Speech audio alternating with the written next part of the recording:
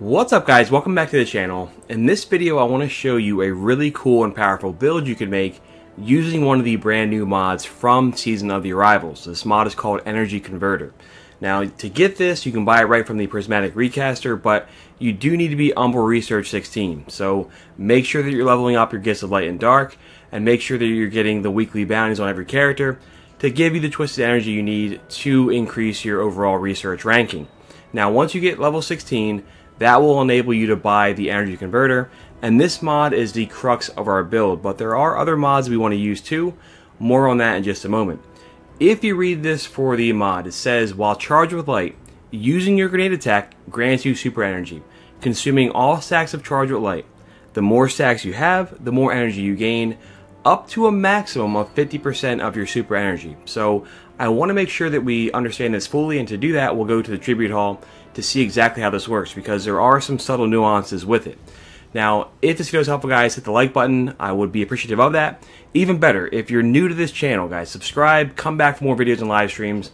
It would make me happy if you did that. So let's make our way to the Tribute Hall. We're going to see exactly how this mod works, and then we'll explore how you can use some different builds and weapons and other mods to make the most use of this new mod here from Season of the Arrival. So over to the Tribute Hall we go, and let's put this into practice.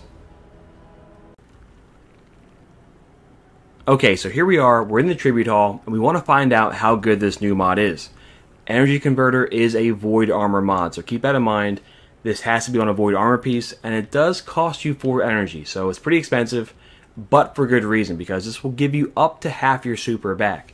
Now, that relates to how many Charge of Light you have. To get the most back, you want to be Charge of Light times 5. More on that in just a second. A key distinction here, though, is it'll give you back half your super, but only the first half. It won't give you back the second half. And honestly, if you think about it, that makes sense because if you combine this with something like Orpheus Rigs or the Skull of Dire Ahamkara, then you could have pretty much supers over and over and over again. It just gave you back the second half. As it stands, though, it'll only give you back the first half of your super. Otherwise, it'd be too OP. So let's take a look at that. I want to show, I want to make sure that people realize that that will not give you back super energy. So we're going to go ahead here. I'm going to use my Nova Bomb. If I use my grenade right now, I would get back close to half my super. But I want to demonstrate that one mechanic. So I want to go back here to this Shard of the Traveler. I want to get some of these pieces here. And I want to charge my super up just past halfway. So you notice here I'm just past the halfway mark if I use my grenade right now, it will not consume that charge of light. So I want to demonstrate this because it's a very important takeaway from this video, I think. Now, if I were to go ahead and get some more super energy, I will launch another Nova Bomb off into the abyss. When I use my, my grenade next, I will get super energy, but I have to wait for my grenade to come back. So the important part about this is it will only give you back the first half of your super, not the second half. And I believe as well that the maximum of 50%, yes, it's tied to having charge light times 5. And to do that, you need to have charged up, which is an older armor mod, as well as supercharged. That will give you two additional stacks of light from supercharged and one additional stack here from charged up. That is the only way to get to times 5. So you want to pair charged up and supercharged with the energy converter. And I believe as well that part of it relates back to either how high your discipline is or how high your intellect is. I think to get the maximum of 50%, you need charge of light times 5, and you need these two stats, both of these, to be as high as you can. That's going to give you back, I think, the maximum, but I need further testing to confirm that. So if I look back here, my grenade is full. Just to demonstrate really quickly, if I get my super all the way up, I'm going to throw a Nova Bomb off, and I'm going to use my grenade right away. And then you'll see how much super energy it gives me back. So here we go. Nova Bomb away. My super is at 0%. I throw my grenade. It consumes all five stacks, and it gave me not quite 50%. That's why I think part of it is tied to your intellect or your discipline. It gave me back not quite half, but nearly halfway. So you can see here that this mod is going to be very, very powerful, especially in PvE activities. Not so much in PvP, but especially in PvE. So let's take a look here. At this point, then it becomes how fast can you get back that last 50%? And right now I have some different weapons here we're going to look at. I want to make my way now over to the Whisper mission, and we want to see how we can get that last 50% back and pretty much be a walking super anytime you're doing strikes or gambit or what have you. Again, this is more so from PvE because getting Charger Light in PvP is a bit more difficult. So let's make our way to the Whisper. We want to put some things into practice and then we want to complete our build so that we can be throwing Nova Bombs left and right when we're running strikes. Let's make our way to the Whisper and see how we can do it. The iconic Whisper of the Worm mission is where we are now, and this is where we're going to have a testing grounds for our Infinite Super build. Now, again, the crux of this is going to be the energy converter combined with charged up and supercharged to get Charger Light times 5. But what weapon should you use? I'm going to be using the Bad Juju. This is a pulse rifle from the Season of Opulence, and I have the Catalyst version. You don't need that, but that would help uh, quite a bit having String of Curses is going to give me a lot of super energy. And honestly, this is going to be a great way of filling up your final 50% because really that's what it boils down to. How fast can you build up that last 50% and while making sure that you have a grenade ready to use once you use your super. I'm going to be using as well the Fallen Guillotine. This is a season pass item from this current season and a very powerful sword in its own right. This is a great weapon to use, and I want to make sure too that I'm combining my other mods here to match my primary weapon and my heavy weapon. So for that reason, I have the Bleeding Edge. The bonus to this is going to be bonus super energy from sword kills. And I have the Swift Charge. This is going to be very important because getting Charge of Light in the first place is going to be something I need to do.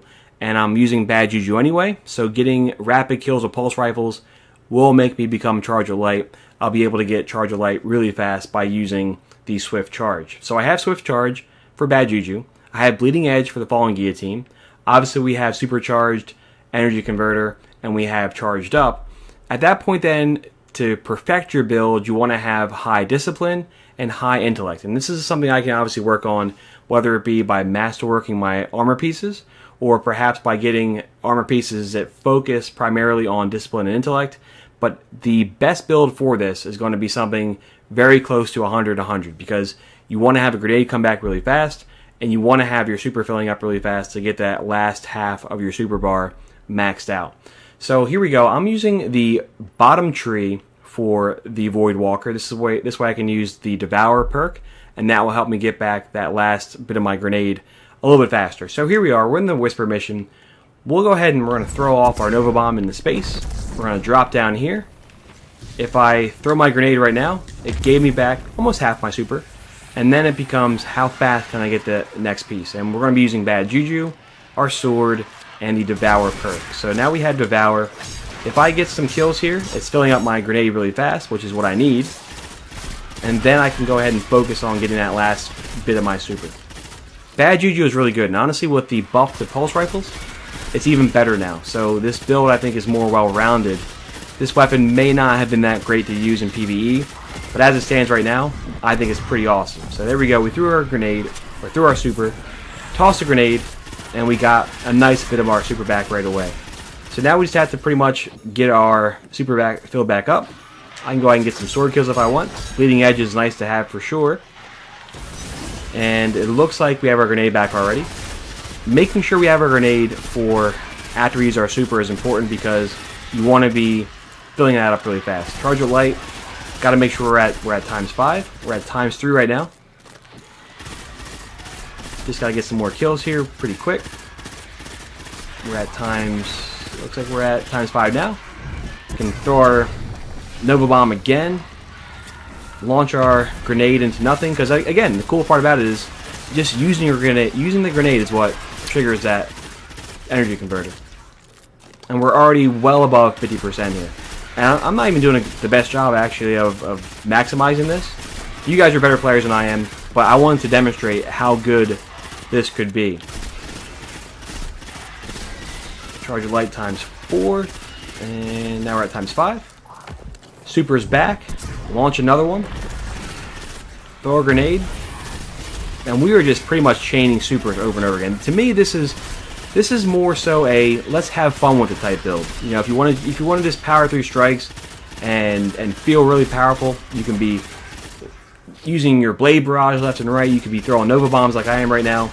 This to me is going to be a fun way to play this game. Uh, more so, of course, obviously playing in PVE. I, I think with with Crucible, it's not quite as easy to do this because it's more difficult to become Charger Light. But I find this to be a really, really fun thing to do. I mean, pretty much we had a super there every 30, 45 seconds or so. That is pretty insane. I think this is a fun build, and I wanted to showcase this to you guys. Like I said, if this video was at all helpful or, or entertaining, guys, hit the like button. It does make a difference with the YouTube algorithm. And even more, if you guys are not subscribed, I hope you'd want to and want to come back for more videos and live streams. I love you guys. I appreciate all the support, and best of luck with your Infinite Super build. See you guys.